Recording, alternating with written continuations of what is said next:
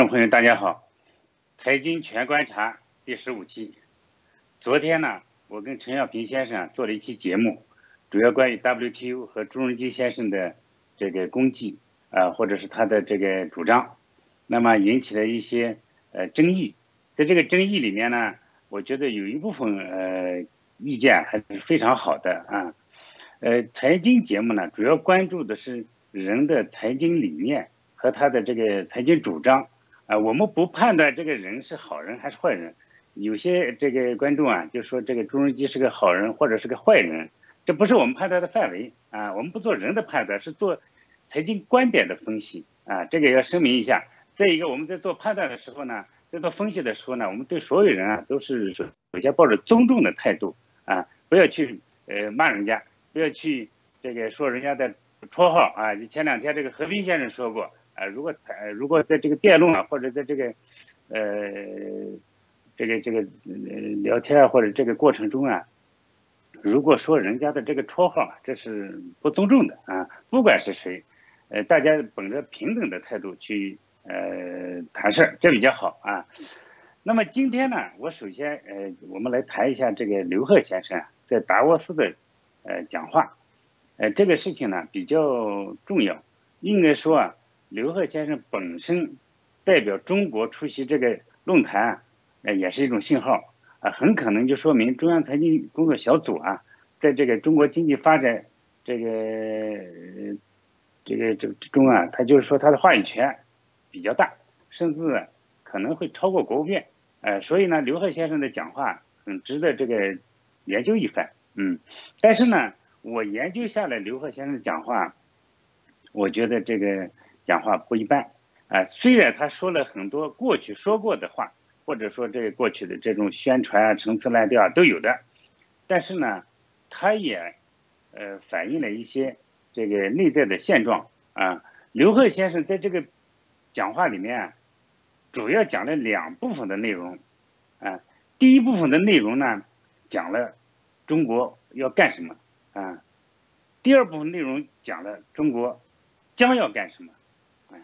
但是很不幸，在我分析看来，这两部分讲话内容本身啊是冲突的，哎，就是这两部分内容啊没有逻辑上的必然性。那没有逻辑上的必然性，为什么会拿出来讲呢？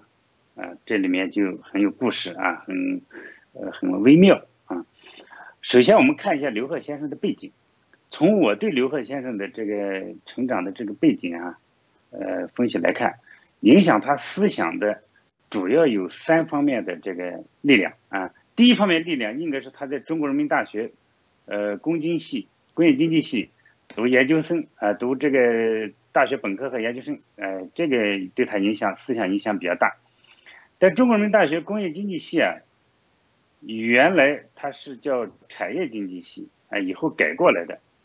实际上呢，它是一个计划经济为导向的，呃，研研究方法为主的这么一个呃系啊，呃，所以在他的这个很多研究里面，呃，有很多产业经济的内容，但是产业经济在美国在西方是没有了啊，所以第二个影响这个刘鹤先生的呃思想，其实就来自于他在哈佛读的这个 MPA 啊，实际上 MPA 呢，呃。重点关注公共产品，它跟 MBA 是不一样的。MBA 重点关注商业和企业家，MPA 关注的是公共产品，由政府全力运作的啊，就是企业家不不怎么愿意去做，因为它这个周期长，收益收益慢啊，所以呢，政府必须去做。那这一部分呢是 MPA 关注的啊，这也影响了他。第三部分影响刘鹤先生思想的呢，是他在国家纪委啊这工作经历，嗯。这三段经历，就是说这三个影响他的呃思想的源泉有个共同点，共同点是什么呢？都是强调这个计划经济的手段，强调政府的权利，啊，依赖于这个呃公权力去做事情。所以有这个背景分析之下，我们再来看刘鹤先生的讲话的第一部分，我们就能很清晰的看出来，他的第一部分讲话里面。准确的展示了顶层设计的这种思想。什么叫顶层设计？顶层设计就是上面说了算。上面说了算，意思就是政府说了算。政府在经济领域说了算，那就是计划经济的这个思想啊，这跟他这个背景是一脉相承的。所以你看，他第一部分讲的这个顶层设计什么呢？就是说，中国在过去坚持的这个改革啊，叫什么呢？叫一个总要求，一条主线，呃，三个这个攻坚攻坚攻坚战。一条总要求呢，实际上就是把经济发展从高速度转向高质量。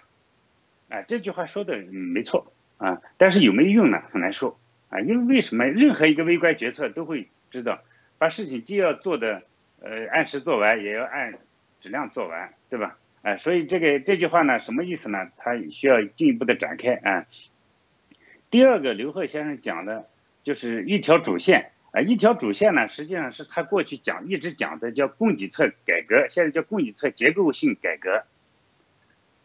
就是三去一降一补，啊，去产能，去去库存，啊，还有这个什么去杠杆，啊，降成本，啊，补短板，这是他的一直在实施的观点。但是我对这个观点呢，前面也提出过很很很很很激烈的这种反对意见啊。实际上，我认为这是一个错误，这是一个误判，啊，为什么是个误判呢？就是供给侧改革啊，本身它是。它不是应不应该成为国家级的这种改革目标啊？其次呢，三去一降一补啊，是经济的表象，不是经济的本质。经济的本质不在这儿，就是说一个小孩子他这个呕吐，那么你就去给给他一直冲马桶，或者他拉肚子，你一直给他冲马桶。但他问题其实不是这个，他问题是感冒了，你得给他吃感冒药，对吧？一样的，这个三去一降一补啊，是经济的表面现象。表面上你是生产多了，啊，你去就把多余的去去掉，但是这个生产能力、生产系统还在，它又会生产更多的，因为你没有从系统上进行进行分析，所以我们说这个三去一降一补啊，这个政策带来了极大的混乱啊，这个是也体现了计划经济的一些思思潮吧啊。第三个就是说，刘贺先生提到一个三个攻坚战，一个就是防范重大金融风险。呃，意思就是说，真的是有中金融风险的啊。第二个是去扶贫，精准扶贫啊，意思就是说把这穷人呢，呃，给想办法让他不要闹事儿啊。第三个就是污染啊，就是去污染，这个就很明显，让大家都活得好一点啊，不要这个整天一想着这个延长什么退休啊，还没等你延长退休了，人已经不行了，那污染太严重，对吧？这三个呢，实际上都是跟这个社会危机有关系啊，就是金融危机，还有这个贫困这方面带来的这个社会不稳定，还有这个呃环境带来的这个社会的这种焦虑啊。那么从这三部分内容呢，这是这三点啊，构成了他讲话的第一部分内容。那我们认为呢，我本人认为，呃，这个刘鹤先生第一部分的这内容啊，他实际上是，这是他真实的思想啊。真实的意图，啊，而且呢，也是过去一直他在推行的这个思想，但是呢，因为中国政府在三月份要换届，新的政府上来以后怎么做啊，可能还有一点变数啊，但是我觉得刘贺先生在这个地方提出来这个一条主线，什么三个攻坚啊，呃，实际上是给未来的政府啊在喊话，嗯。要坚持这三条啊，是对内喊话，我们叫对内喊喊话，对未来的自己的政府喊话，呃，不要说这个刘贺先生去实施它，我觉得他应该不是要去完成这件事，他是要交给政府去完成的啊，政府三月份换届啊，去去做这件事。那么刘这三件就是这第一部分内容呢，它稍微显得有点保守，为什么叫保守呢？啊，就是说它没有创新。没有这个新的内容，都是过去人民日报啊，或者是这个，呃，天天讲的这些内容。那实际上是可能刘鹤先生也有一个考虑啊，就是说他在这个讲话中啊，给未来的政府留有一定的余地啊，就是说他如果说出了讲讲讲讲很多这个呃创新的或者不一样的思路啊，未来的政府如果完不成，啊，这中间就有一个冲突，这也挺麻烦的。所以这也反映出他的。呃，经济这个思思想在提出的过程中的一些这个谨慎啊和保守啊，这是他的第一部分内容啊，他是对内讲话的，这个我们要听懂啊。但是呢，他的他的这个发言里面有第二部分内容，这第二部分内容啊是很奇怪的。我认为第二部分内容啊，其实不是他的思想。第二部分内容讲什么呢？讲他要呃中国要开放，要鼓励竞争，发展市场经济，嗯，让企充分发挥企业家的作用，啊，要这个开放金融，开放制造业，保护知识产权，还有这个呃促进进口。这些话你觉得如果不看第一段的内容啊，你觉得还可以；如果你看第一段内容，再看第二段内容，你觉得哟，这怎么讲的不一样了？这个跳跳跳跃很大嘛。前面讲政府要顶层设计，后面讲企业家要发挥企业家的功能，要自由竞争，要反对垄断，这是有点错位，对吧？但实际上不是。这第二段话呢，他也是讲给人听的，但不是讲对内听的，他是对外听的，讲给。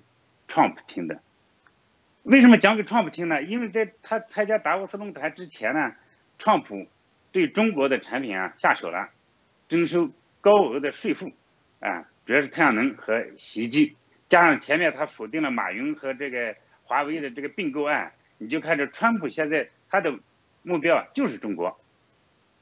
那么中国在这个时候呢，要不要应对呢？要应对，可是中国的新的政府还没有成立。三月份才能全面上位，啊，这个时候中国需要争取时间，让美国呢给中国一点时间，来争取新的政府上位以后再跟美国进行谈判。那么怎么争取时间呢？那你就要递一个好话，像投名状一样的，哎，我告诉你，我准备这么干的。这是刘鹤代表国家对美国做出的一种喊话，啊，希望 Trump 能够听懂，你不要着急，不要急着先拿棒子打我。哎，我呢是准备了一个非常超出所有人想象的一个一个一个呃开放的一个计划的，啊，这是这应该是他的本意思想，就是超出很多人的想象的。但这句话呢，我们不不陌生，因为川普也讲过，说我们有一个超出很多人想象的对付中国的计划，对吧？这是双方就在这儿吵架了，哎，然后呢，刘鹤就递个话，递个投名状一样的这种话，说 F 一下。争取时间，但是但是 Trump 呢会不会这么想呢？我觉得这要呃回过头来看啊，因为 Trump 本身啊，他是一个雷厉风行的人，我们现在已经能看出来啊，他已经给你喊了话喊了好几次了，包括在那个在他的庄园跟那个习习主席这个对话的时候啊，呃双方达成的一致，包括后面又喊话。川普的习惯是我给你喊两次话或者三次话，第四次我不喊了，我直接拔枪了，这是他的性格决定的，嗯，所以这个刘鹤继续这么喊话，你如果不拿出这个计划来，或者你的切实行动措施来，那么下一次可能川普马上就这个大棒就挥下来了，嗯，但问题是，在川普大棒没挥下来之前，你你拿计划出来，是不是有针对性？这可能有问题的，我相信双方团队啊也在这方面呃一一定有过沟通啊。回过头来我们说啊，这个刘鹤提的后面这个思想跟他前面这个思想冲突，是不是刘鹤本人的意见呢？这个地方要考虑。我个人觉得不是刘鹤本人的意见，至少啊，老大啊看过的，应该是老大有这方面的首肯啊，他才敢于拿出来，因为这个方案这个计划。跟前面的什么三去一降一补啊，什么顶层设计啊是不一样，因为他强调市场经济，强调这个反对垄断，啊，反对这个这个呃呃国家操纵啊，强调发发挥企业家的功功能。但是你发现他没有刘贺在整个报告里面有两点没有提，这两点非常啊值得关注。第一点，他没有提混合所有制改制。我已经反复的说过，混合所有制改制就是把羊和狼放在一块儿一去养，这是一个错乱，这是不可能成功的啊！所以这次他去掉了，呃，希望他不是因为听了我的这个讲话去掉的，但是他确实去掉是正确的啊。第二个，他没有讲做大做强国营企业，因为做大做强国营企业跟他前面的政策是冲突的，跟后面的这些自由开放的政策也是冲突的，所以他无法自圆其说，所以他去掉了。这也是我非常反对的一个政策，做做大做强国营企业啊。这两点呢去掉了，所以我们还要关注这两点后面会怎么去处理啊。那么他后半部分的这一部分讲话，实际上我们说它体现了什么呢？他的这个讲话的改革思想，整个体现的是朱镕基的改革思想。昨天我跟小平谈这个 WTO 的时候啊，谈到了朱镕基的思想。就是三条，第一条就是放松管制，通过政府裁员，哎，来放松管制，这也是刘鹤这次提的，要发挥这个企业家的作用啊。第二条呢，就是这个中日基的第二条就是说，拆分国营企业，啊，提倡竞争，反对垄断，这也是刘鹤在他的讲话里面提到的。第三个朱镕基做的事儿就是引入了 WTO。啊，促进竞争，这也是刘鹤在他的达沃斯的这个讲话里面第二部分提到的。所以我们看刘鹤的第二部分讲话跟朱镕基当年的改革啊非常相近，啊，而且朱镕基的改革思路啊，其实你在看川普的这个改革思路啊也很像。川普有一条，呃，就是呃我们要关注，就是川普里面他的政策里有一条减税，实际上。在朱镕基的改革思想里面，就是减少企业的这种呃减减呃政府裁员，然后呢放松管制，里面隐含着降低企业的这个税负的思想。为什么呢？因为你的政府支出里面减少了，你的税就可以减少。中国现在为什么减税推不下去？是因为政府的人员太多，你不裁员就不要提减税，空的。因为裁员一定要走在前面，通过裁员。降低财政收入，呃，降低财政支出，然后才能减税，哎，所以我们说，朱镕基的改革思想和川普的改革思路啊有相通的地方。那么这次刘鹤提的这种改革思想啊，也跟朱镕基的改革思想又吻合了，哎，又走在一起了。我是非常推崇朱镕基的这种改革思想的，因为在当前中国的这种经济体制之下，要找出来。更适合这个朱镕基的改革思路的这种这种版本啊，这种思想的这种这种经济经济思想啊，不多，不是说它是完美的，因为改革嘛，总要是有有获益的一方，有失去利益的一方，但总归从国家整体或者从从老百姓的整体收益来说呢，哎，它总归有一个主流的方向啊。呃，在这个地方呢，我想呃说明一下，就是。好多人在昨天我和小平做完节目以后啊，就是反对，就是对朱镕基意见非常大，非常大的原因是因为朱镕基当年确实搞了呃砸三铁，还有这员工下岗啊，认为他不顾老百姓死活。我想说啊，朱镕基他本身不是国有企业，这个当时啊国营企业做不下去或者国营企业大规模的这个亏损啊，他不是这个呃责任人。他只是受委托去解决大规模的亏损，尤其是东北的三角债啊这个问题。那么国营企业走到那一步呢，应该说国营企业自身有很大的问题。